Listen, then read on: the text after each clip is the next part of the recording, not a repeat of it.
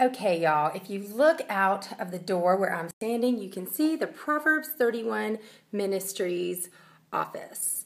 And right inside here is our conference um, room. You can see we have nice table, whiteboard, and this end of the table, there's a lot of stuff. And there's some chairs. Yes, the chairs are waiting on myself, Melissa Taylor, Nicki Koziarz, and Amy Likens.